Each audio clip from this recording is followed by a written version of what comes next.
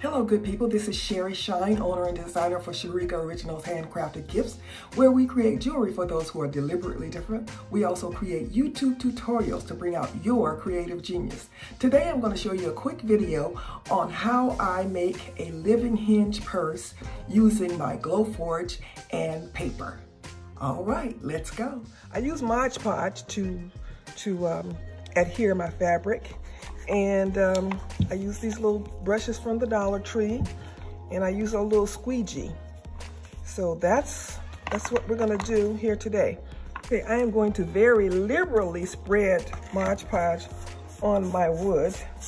Um, the fabric really soaks it up. So I put it on pretty thick.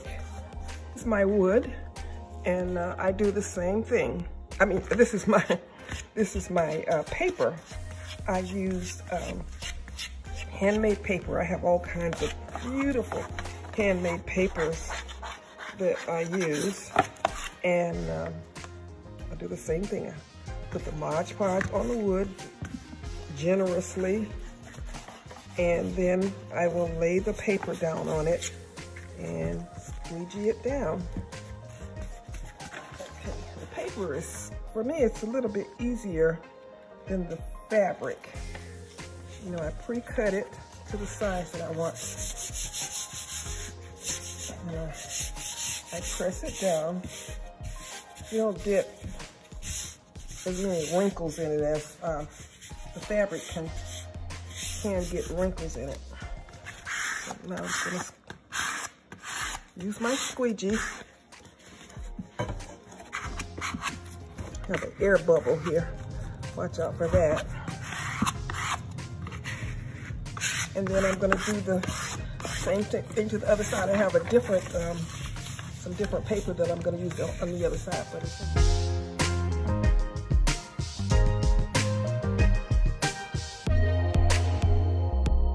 I didn't mask, um, I didn't mask my project, so I took a chance on it. And as you can see, you can tell that it got a little burnt looking here.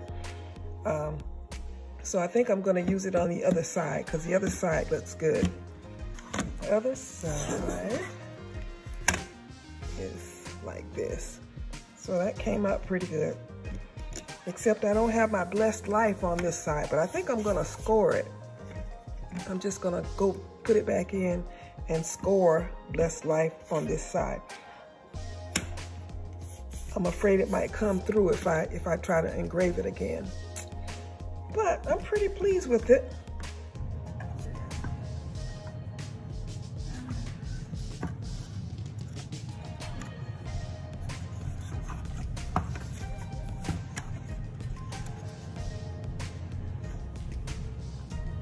Paper or fabric is a great alternative if you're not a great painter.